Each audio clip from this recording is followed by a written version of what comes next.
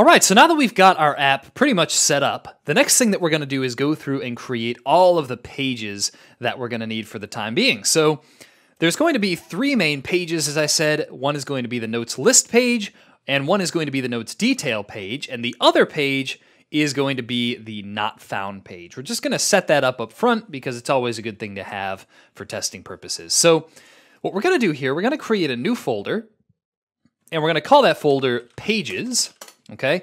And just one thing I wanted to point out here is that personally, when my apps are on the smaller side, as this one is right now, I like to divide up my app into pages, components, uh, contexts, etc. Right? Do more of a function-based organization. And as the app gets larger, I tend to like to switch that over to feature-based organization. Right? Once we start dealing with things like different users, once we add more types of resources to our application, like maybe we add products to our application, that's when I like to switch over to feature based organization where we would instead have our application divided up into like users, notes, products,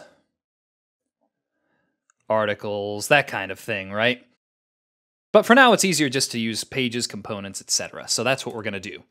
All right, now inside this pages folder, what we're going to do is say new file, and we're going to start off by creating our notes list page, which will act as a sort of home page for our application.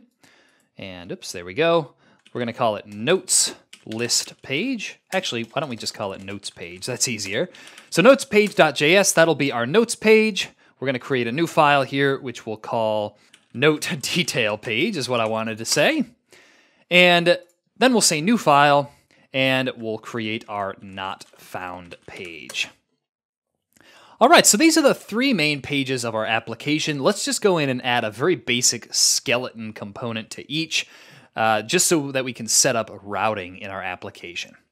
All right, so what we're gonna do is say export const notes page equals, this page isn't gonna take any props, and it's going to just return a heading for now that will say my notes Simple enough. Now we're just going to copy this and paste it into note detail page. We'll change this to note detail page. And we'll change the heading here to uh, this is a note, something like that, right? We'll be replacing that later on. This is mostly just to get the routing set up. And then for our not found page, uh, let's actually just copy and paste some of the stuff from our note detail page. This one we can actually implement almost entirely right now. We're just going to say something like how you get here for the heading. All right, something kind of snarky there. And then for the paragraph tag underneath, we'll say something like, it looks like this page doesn't exist. Sorry about that.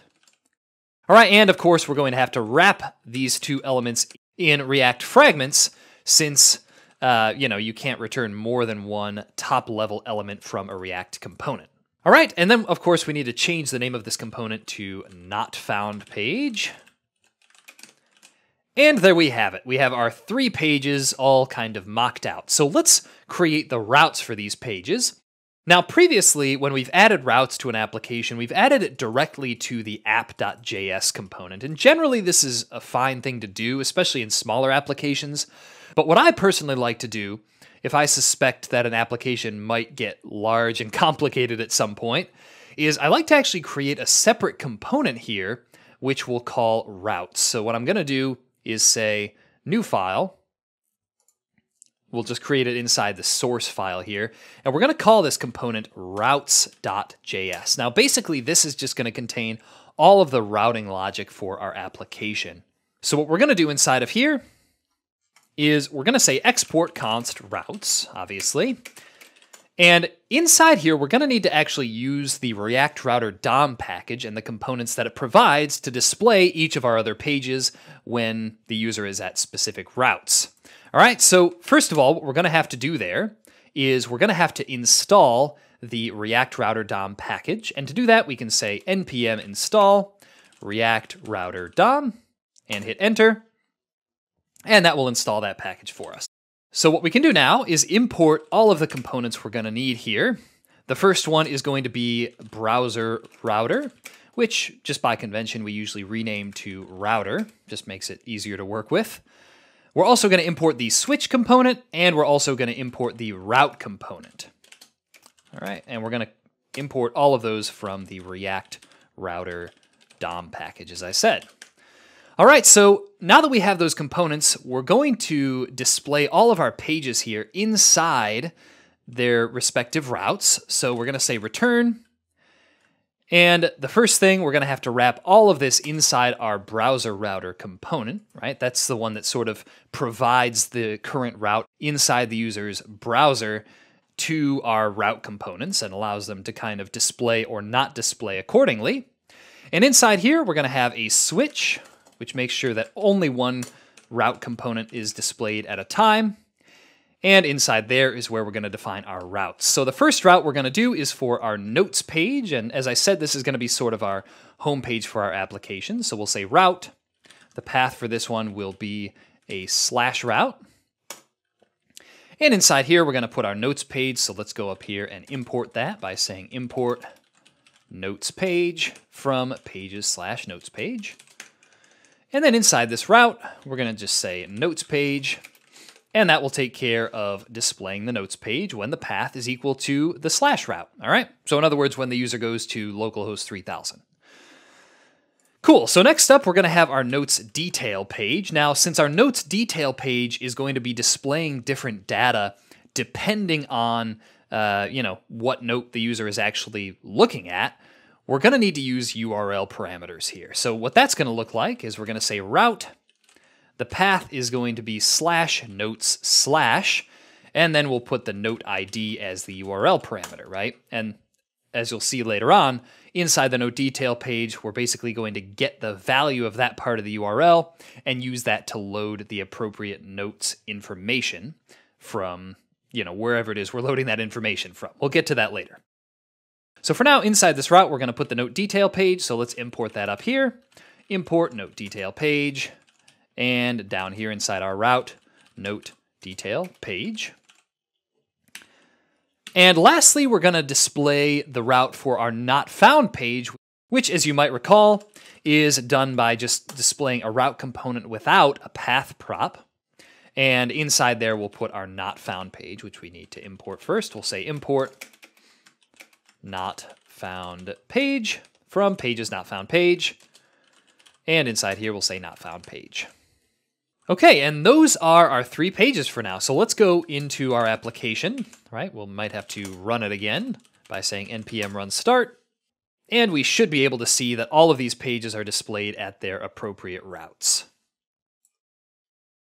Ah, and it's actually only displaying code goes here. That's because we have to actually go back to our code, open up our app component, and replace this code goes here thing with the new routes component that we created. So let's say import routes from routes. And right here, we'll display our routes. Oops, I wanted to do that. There we go. We'll display our routes like that, and that should take care of it all. So we see right here, if we're on the home route, we see my notes. If we go to slash notes slash 123, for example, we'll still see my notes. Now, the reason for that is that we need to actually add the exact prop to our homepage route to make sure that it's only displayed when the route exactly matches that. You may remember that from before. And now that we've done that, we should see this is a note, which is our note detail page. And just to test our not found page now, let's just type in something ridiculous that doesn't exist. And we'll see how'd you get here. It looks like this page doesn't exist. Oops, doesn't existing. That's not correct English. Let me go back and correct that. Doesn't exist. Sorry about that. Must have been looking at something else while I was typing that. Anyway, there we go. So that's our not found page, and that's all we need to do to set up our pages. Now, one last thing that I want to set up. I would like to have the notes list page displayed on slash notes. But in order to actually have the user be sent there after going to the home route, we have to set up what's called an automatic redirect for the home route, right? So in other words, when the user goes to localhost 3000, they'll automatically be redirected to localhost 3000 slash notes. This is a strategy that a lot of different sites use to uh, allow themselves to change their home page if need be. So the way that we're going to do that is we're going to open up our routes.js file again. And what we're going to do first of all is change the path of our notes page to slash notes. And we still do need to keep this exact prop here because if we take it off, that means our notes page will uh, basically take over this route here and not allow our note detail page to be displayed since the first segment of both of those paths is the same. Okay, that's something we discussed earlier. Above that, what we're going to do is create a new home route by saying route path equals slash, and this does have to be exact as well. Okay, and inside this route now, instead of displaying an actual page component, we're going to display another component from React Router DOM, which will be called redirect. Okay, so this redirect component, uh, you may have seen it before, is just a component that if it's displayed will automatically redirect the user to a different route.